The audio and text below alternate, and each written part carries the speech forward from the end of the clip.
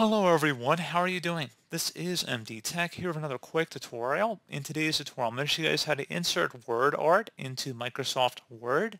So this should hopefully be a pretty straightforward process here guys, and without further ado, let's go ahead and jump right into it.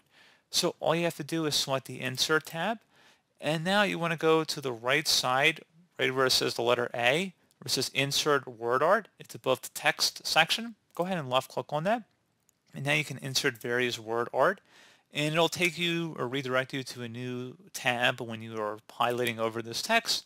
It'll give you a lot of different options to play around with the type of word art that you have on your screen. So you can change the size of it, you can change different theme settings as well, as well as different colors and outlines and effects. So pretty cool feature there guys. And as always, thank you for watching. Do was able to help you out and I do look forward to catching you all in the next tutorial. Goodbye.